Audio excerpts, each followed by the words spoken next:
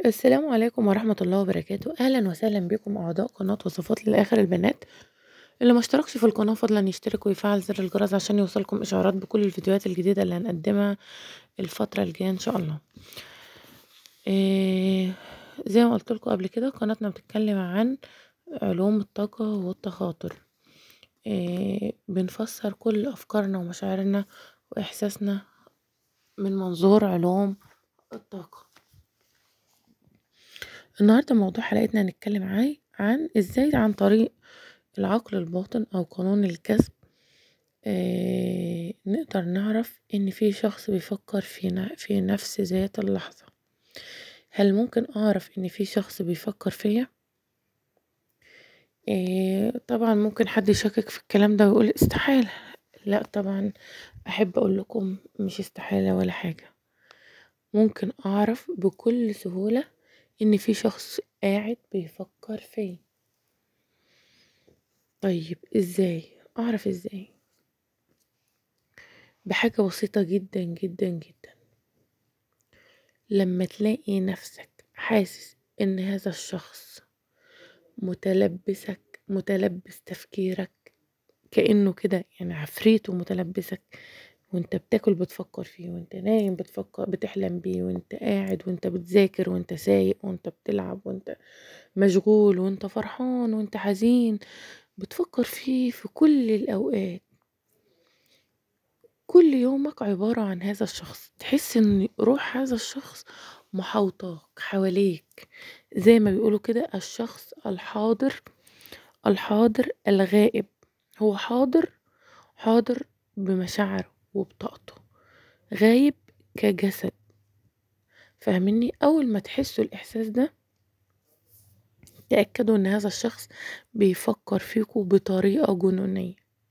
بطريقة جنونية. خدوا كلامي عن ثقة. طاقته وصلت.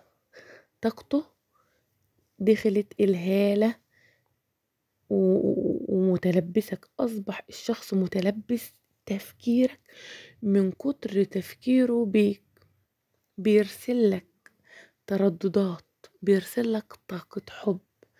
وممكن لو بيفكر فيك بطريقة سلبية هتلاقيه بيرسلك ترددات سلبية وانت حاسس بطاقات سلبية وحاسس ان الشخص ده بيحقد عليك وحاسس ان الشخص ده مش بيحبك وغيران منك وحاقد عليك برضه بتوصلك سواء في مشاعر الحب ومشاعر الكره برضه يا جماعة بتوصل وبتعرفي مين الشخص اللي بيفكر فيكي عن حب أو مين الشخص اللي قاعد بيغتل ليكي وبيفكر فيكي بكره وبحقد. فإحنا طاقتنا اللي بتبين لنا.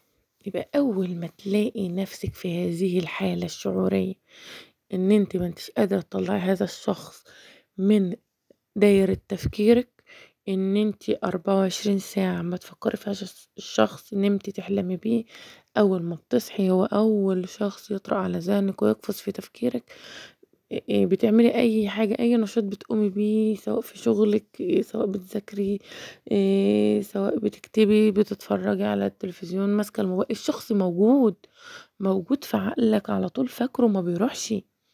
والحالة دي مش بتحصل في الطبيعة.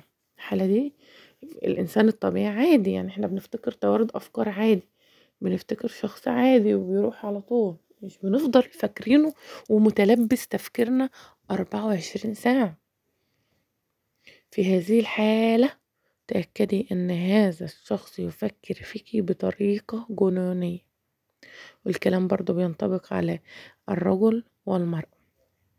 هي دي الحاجة اللي بتأكد لنا الطاقة زي ما إحنا قلنا كده كلنا كلنا مربوطين مع بعض أفكارنا ومشاعرنا وتردداتنا وطاقتنا وعقلنا الباطل.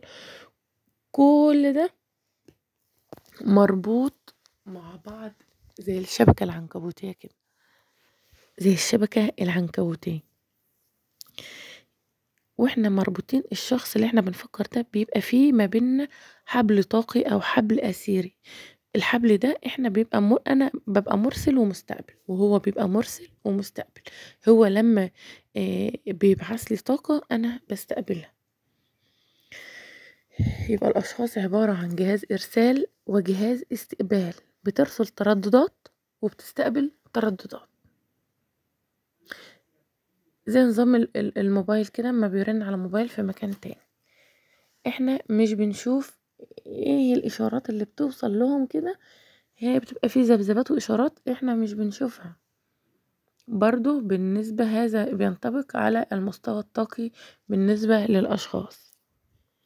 يبقى الحاجة الوحيدة اللي تعرفي بيها إن الشخص بيفكر فيكي أول ما تحسي بهذه الحالة تأكدي وتيقني إن هذا الشخص يفكر فيكي بطريقة جنونية. حتى لو انت بتفكري فيه ساعة ولا ساعتين لأ ده هو بيفكر فيك أربعة وعشرين ساعة. طاقته واصلة لك.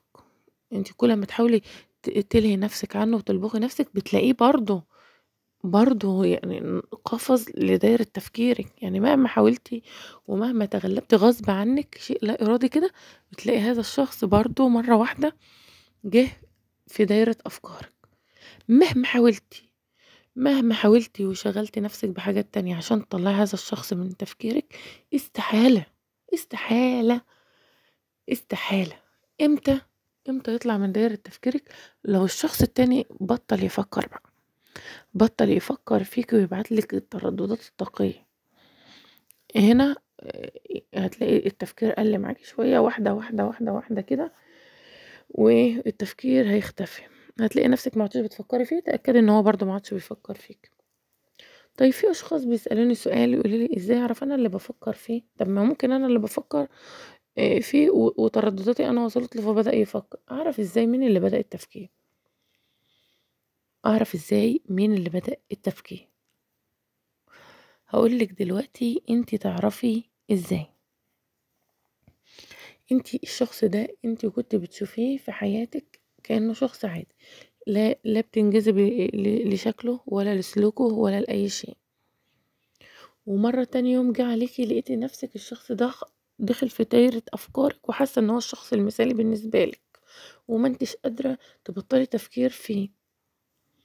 مرة واحدة كده يعني هو ما كانش هو كان قدامك وموجود كل يوم قدامك ولا يعني لك شيء ولا يمثل لك شيء. وفجأة مرة واحدة بتحسي إن هذا الشخص هو فارس الأحلام. في إيه إيه اللي حصل مرة واحدة؟ اعرفي إن الشخص هو اللي بدأ تفكير فيك ولو كنت بتفكري فيه ولقيتي التفكير ده خلاص خلص وانتهى ما عدتش بتفكري ورجع رد عليكي تاني بنفس القوة بنفس القوة التر- الترددات ال- ال- الطاقية القوية جدا أنت مش قادرة تطلعيه من دايرة أفكارك اعرفي إن الشخص ده هو اللي كان بيفكر فيك الأول.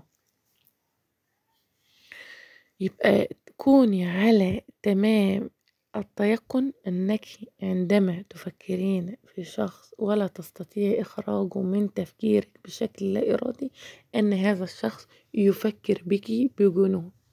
تأكدي وتيقني.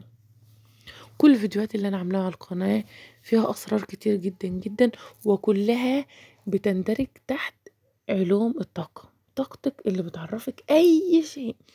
الكون حتى الكون ذات نفسه بيرسل لك إشارات. هتلاقي اسم الشخص ده تردد قدامك كتير في, في مواقع التواصل الاجتماعي في كتاب بتقرأيه في جورنال بتقرأيه في, في موقع بتتصفحيه سواء في شغلك في دراستك في يافطة على الشارع كده مكتوبة هتلاقي الاسم متكرر قدامك كتير الكون ذات نفسه بيرسل برضو ليكي ترددات ترددات عشان يعرفك إن هذا الشخص بيفكر فيكي كل شيء في هذا الكون له سبب. كل شيء له تفسير في هذا الكون. فمش عايزين نشغل بالنا كتير.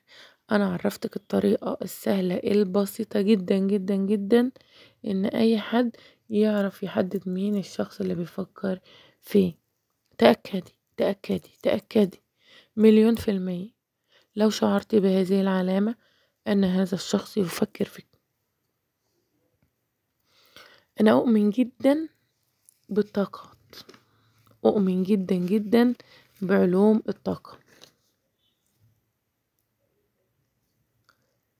يبقى لما تلاقي نفسك عمالة تفكري في شخص طول الوقت ومش قادرة تتخطي هذا التفكير مش قادرة تطلعيه من دماغك مهما حاولتي لا إراديا هتلاقي نفسك بتفكري فيه باستمرار. ومع الوقت هيستحوذ على عقلك الواعي واللاواعي كليا. وهتنامي تحلمي بيه. تقومي تشوفيه في أحلام اليقظة. مهما حاولتي لا يمكن عقلك أن يتخطى هذا الشخص. عقلك عامل فوكس وتركيز على هذا الشخص تحديدا. عامل عليه تركيز. مهما قابلتي من أشخاص حواليك أحسن منه سواء شكلا أو مضمونا أو تعليما هذا الشخص هو كل شيء بالنسبة لك. ما انتش قادرة تتخطي هذا الشخص. متملك من تفكيرك مسيطر على تفكيرك.